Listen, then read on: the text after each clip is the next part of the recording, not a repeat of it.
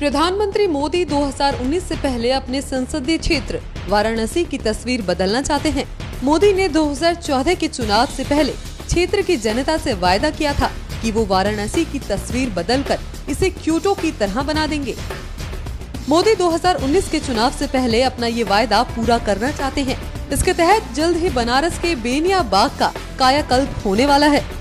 इसके अलावा क्षेत्र के चार और जाने माने लेकिन बदहाल सार्वजनिक बागों को विश्व स्तरीय बनाया जाएगा।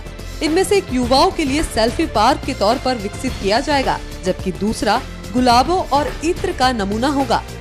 एक बाग में लाइट एंड शेड इफ़ेक्ट के लिए एक स्क्रीन लगाई जाएगी और एक ग्रीन टनल बनाया जाएगा। प्रधानमंत्री मोदी शहर में लगने वाले जाम को भी खत्म करने के साथ इसे वाईफाई रेडी भी बनाना चाहते हैं। इसके साथ साथ नागरिकों और विदेशियों के लिए खास ऐप बनाने, सीसीटीवी के विशाल नेटवर्क से सिक्योरिटी सुनिश्चित करने और इंटीग्रेटेड कमांड सिस्टम लगाने का भी प्लान है। जल्द ही छत्तीस हज़ार स्ट्रीट लाइट में नए एलईडी बल्ब भी लगाए जाएँगे। अहम जगहों पर ऑटोमेशन और नए एनवायरमेंटल मॉनिटरिंग सिस्टम होंगे।